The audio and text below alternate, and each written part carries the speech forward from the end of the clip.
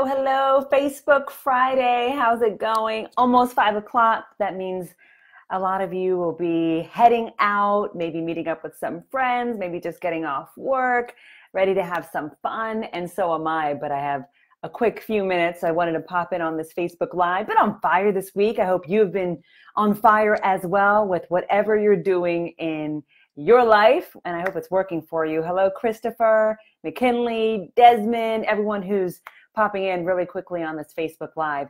And the question that I put at the top of this is really asking you, are you in the shift? And, and by in the shift, what I really mean by that is, are you in a place where you are looking to get to a higher level and you're in this shift, shifting zone is what I'm going to call it, between the old you and who you were and what you did as that identity and the new identity that you hope to and are working to hopefully evolve into.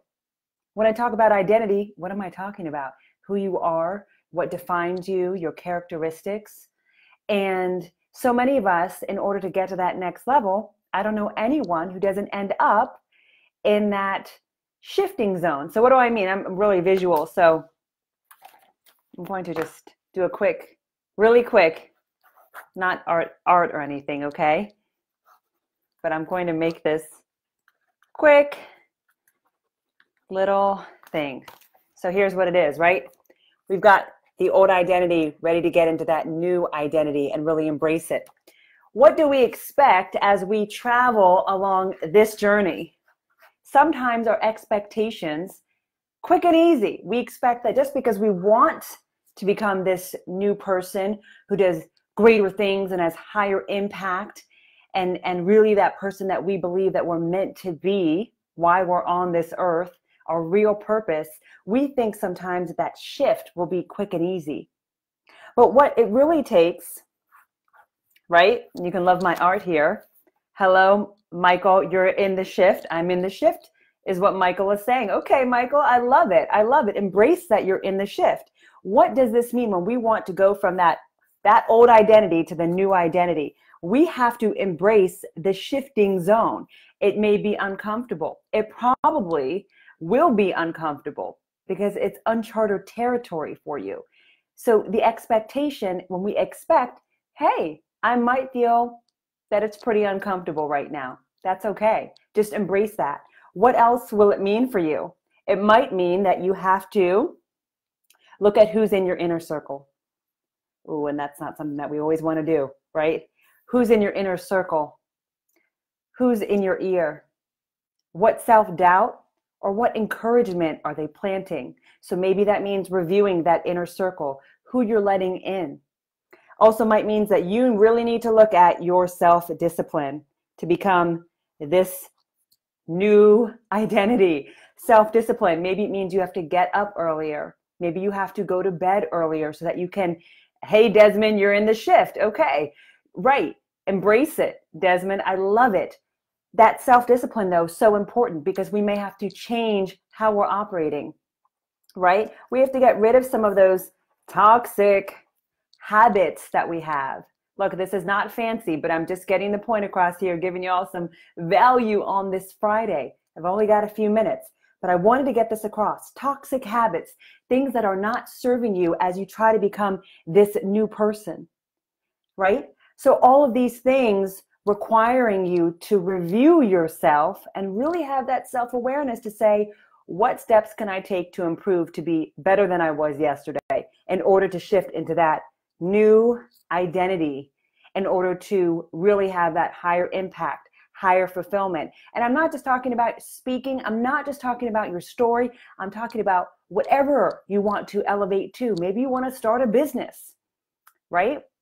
Maybe that's centered around a, mission that you have and a message. Maybe that's what it is. Well, you starting that business still requires you to review all of these things your inner circle, self discipline, toxic habits. Maybe you've got some great habits that you need to amplify and do more of so quick we want to try something new but maybe you just need to do more of some of the great stuff and less of some of the stuff that's just not working for you it's not serving you anymore hello ready to transform. Your Galem says, Michael, there we go, changing your surroundings, right? That environment. And that goes back to still that inner circle too. They're part of your environment. You know, your friends, they're part of your environment. So when we try to make the shift, why do we expect it to always be easy? If it was easy, everyone would get there. And here's the thing here's the catch.